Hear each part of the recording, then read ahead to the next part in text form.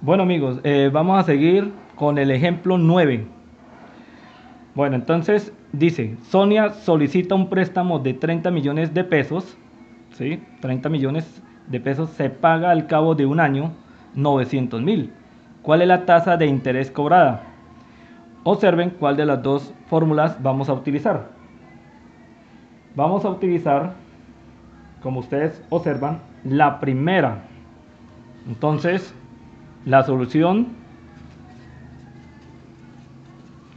copiamos aquí la fórmula, interés es igual a principal multiplicado por la tasa y por el tiempo. ¿Listo? Ya copiándola pues ya podemos retirarla y entonces empezamos. Bueno, la I, interés. La P, principal o capital. La R es tasa o rata. Y el tiempo es, la T es tiempo. ¿Listo? Bueno, entonces para este ejercicio vamos a empezar a, leer y vamos a acomodar esos datos acá. Dice, Sonia solicita un préstamo de 30 millones de pesos. Entonces esos 30 millones, ¿en dónde estará ubicado? En la P, ¿cierto? Porque es capital o principal. Entonces 30 millones va en la P. 30 millones de pesos. Bueno, ¿qué más? Em, la tasa nos la están preguntando, entonces acaba la incógnita. Se paga al cabo de un año. ¿Sí? Entonces el tiempo es un año, ¿cierto? ¿Qué más nos dicen ahí? Estos 900 mil que vienen siendo, pues el interés. Él pagó 900 mil pesos de interés, ¿cierto? Bueno, ahora reemplazando, tenemos interés 900 mil. Capital 30 millones.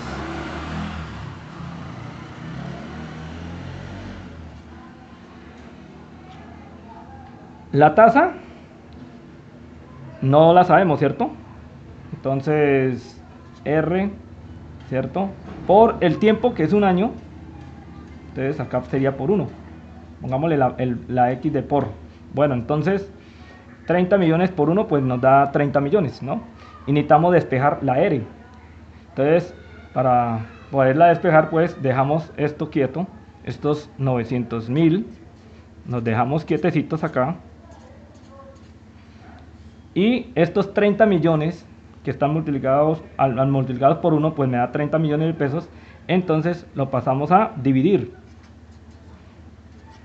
30 millones. Y esto es igual a R, o sea, la tasa, como nos están preguntando la tasa. Bueno, ahora, con la calculadora, vamos a hallar este, este cociente. 900 mil dividido en 30 millones. Recuerde que usted puede cancelar acá 5 ceros arriba y 5 ceros abajo. ¿Sí? Vamos cancelando para mayor comodidad.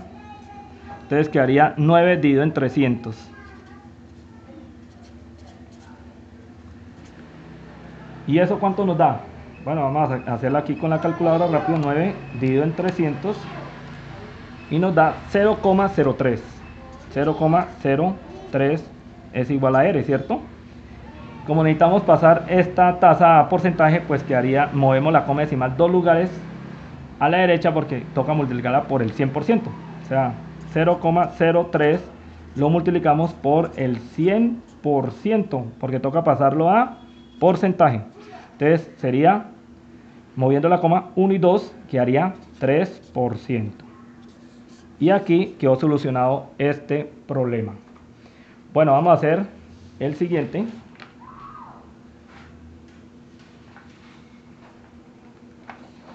Seguimos con el ejemplo 10.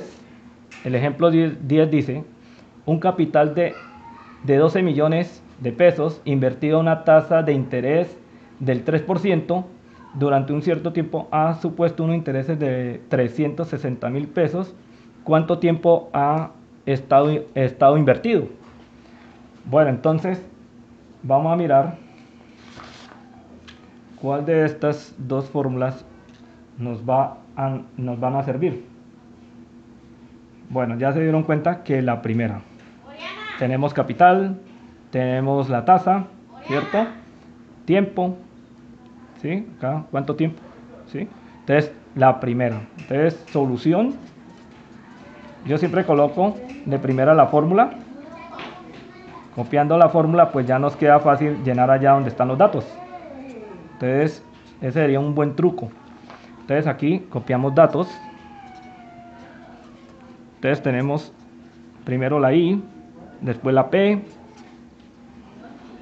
la R y el tiempo. Bueno, entonces vamos a mirar cómo queda. El interés, dice, ha supuesto unos intereses de 360 mil. Entonces, el interés de 360 mil. ¿Cierto? Bueno, ¿qué más nos dan ahí? El capital serían los 12 millones de pesos que aparecen ahí. Este sería el capital o principal. Y la tasa, la tasa, en este ejercicio, la tasa 3%.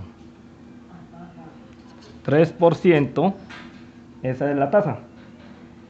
Y nos están preguntando el tiempo, ¿cierto? Entonces acá sería la pregunta, tiempo, ¿cuál es el tiempo? Entonces nos están preguntando por el tiempo.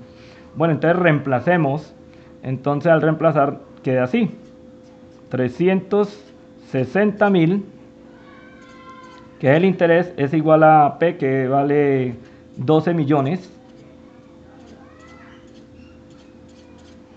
multiplicado por la tasa, que sería 0,03, recuerde que es 3 dividido en 100, se mueve la coma dos lugares a la izquierda, 1 y 2, entonces sería por 0,03 y esto multiplicado por el tiempo. Y como el tiempo toca hallarlo, pongámoslo acá por y el tiempo aquí, bueno, por tiempo. Bueno, entonces copiamos este 360 mil otra vez acá, bueno, 360 mil y aquí abajo vamos a colocar el producto de 12 millones este producto de 12 millones por 0,03 ¿sí? Entonces, haciéndolo con la calculadora, eso nos da 360 mil. ¿sí? Al hacer eso, bueno, si que hay y después lo pasamos ahí para que usted lo aprecie mejor. Bueno, 360 mil, ¿cierto? Multiplicando 12 millones por 0,03 da 360 mil y esto multiplicado por el tiempo.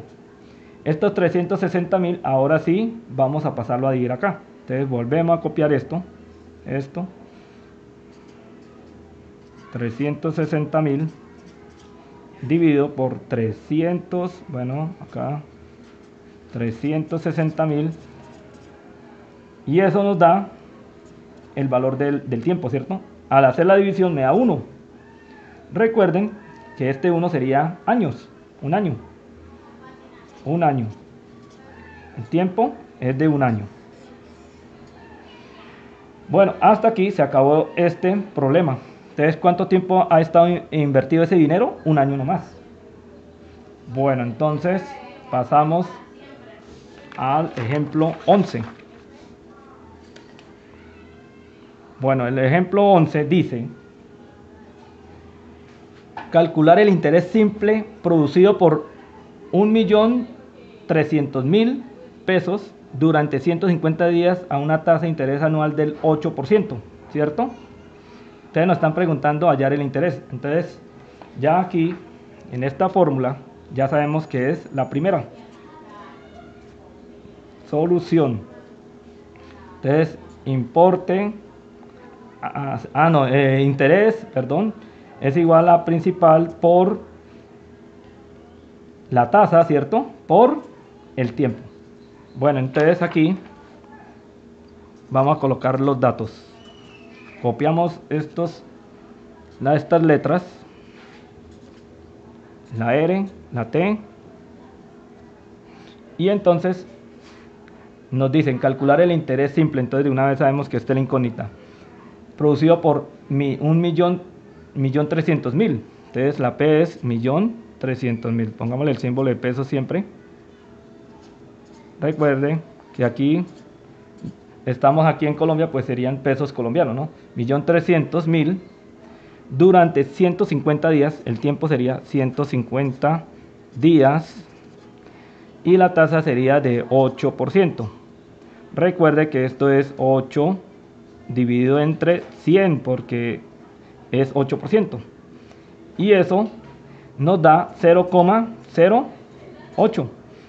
8 dividido en 100 da 0,08. La coma se mueve dos lugares a la izquierda, 1 y 2, aquí queda la coma. Bueno, entonces esto como está en días, ¿cierto? Toca pasarlo a años. Entonces quedaría un, un año tiene cuántos, cuántos días? 360 días. Recuerde que estamos trabajando con tiempo ordinario. El tiempo ordinario. Y el tiempo ordinario es de 360 días. Entonces, 150 sobre 360. ¿Sí? Bueno, acá podemos cancelar eh, el cerito, ¿cierto? Que haría más cómodo, 15 sobre 36. Podemos hasta simplificar, ¿sí?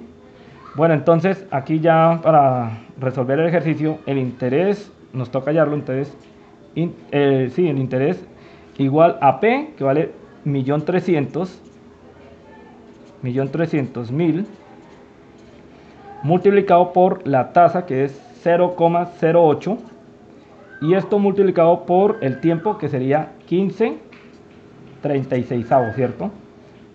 Bueno, entonces resolviendo 1.300.000 por 0,08 y multiplicado por 15 nos da un numerito y ese numerito se divide por 36 ¿sí? y eso nos da 43.000 333 43.333 pesos ese es el interés para este ejercicio bueno, ahora sí vamos a pasar. Este ya está lleno acá. Vamos a pasar al 12. Y último, este ya es el ejemplo 12 y último. Ya no tengo más para colocarles. Dice el ejemplo 12 y último. Juan ha ingresado en una cuenta de ahorros después de un año. Hay intereses de 20 mil pesos. La tasa de interés de la cuenta de ahorros es de 2%. ¿Cuál es el capital de dicha cuenta en ese año? Bueno, entonces en este ejercicio, ya para terminar, bueno, acá tenemos datos y aquí la solución. Bueno, entonces ya, bueno, pongámoslo así. Vamos a pedirle al, ya está el último ya para terminar. Bueno, vamos a, hacerlo con un color rojito ya que el verdito ya está aquí acá. La, el rojo, sí, eso. Bueno, el 12. ¿Qué fórmula nos va a servir? Bueno, entonces, analizando el problema y mirando las fórmulas, ahí es donde usted mira a ver cuál sirve, ¿cierto? Entonces nos dan, ¿qué nos dan ahí? Nos dan el interés, nos dan el tiempo, nos dan la tasa, quiere decir que nos va a servir la primera. Entonces de una vez, este sería Interés es igual a capital por la tasa y por el tiempo. ¿Cierto? Entonces aquí vamos a colocar interés, capital o principal, la tasa o rata y el tiempo que es T. Bueno, entonces leemos el, el problema. Juan ha ingresado en una cuenta de ahorros después de un año ¿sí? Entonces allá nos, nos están diciendo el tiempo. Entonces el tiempo es un año. De una vez nos lo dijeron ahí. Bueno, ¿qué más dice ahí? Hay intereses de 20 mil pesos. Entonces, ¿qué es eso? 20 mil pesos de interés. El mismo problema le dice a usted todo para que usted vaya acomodando acá. ¿Qué más nos dice? La tasa de interés de la cuenta de ahorros es de 2%. Entonces, 2%. Acá como no nos dice anual ni nada, ya se sobreentiende que es anual. Este es 2% anual. Y 2 dividido en 100 es igual a 0,02. Recuerde mover la coma dos lugares a la, a la izquierda, ¿cierto? Bueno, entonces, ¿cuál es el capital de dicha cuenta en ese año? Ustedes nos están preguntando por la P. Reemplazando rápidamente aquí en la fórmula, tenemos 20.000 acá de interés. La P no la sabemos. La R, que es la tasa, sería 0,02. Y el tiempo sería un año. Recuerda acá no colocar la palabra año, ¿no? Bueno, entonces, resolviendo estos dos, me queda más, me queda así la, me va quedando así. 20.000 es igual a 0,02 por 1, pues me da lo mismo, ¿cierto? 0,02 por la P, ¿cierto? Pongámosla con por ahí. Bueno, este 0,02 que está multiplicando a la P pasa a dividir. Entonces me queda 20.000 dividido en 0,02 y eso es igual a P. Al hacer la división nos da un millón. ¿Sí? Vamos a hacerla con la calculadora, le hice así como rápido, vamos a ver. 20.000 dividido entre 0,02, sí señores, un millón. Entonces, un millón